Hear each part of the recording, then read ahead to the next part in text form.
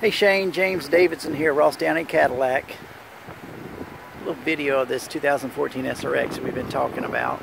It does have the updated or upgraded chrome wheels.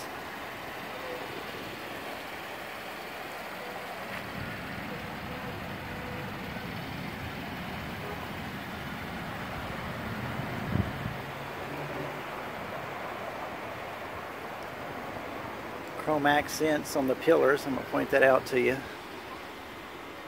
Here, here, and here.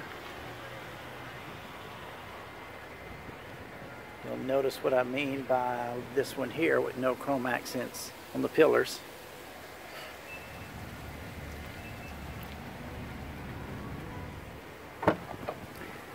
Has the ebony interior.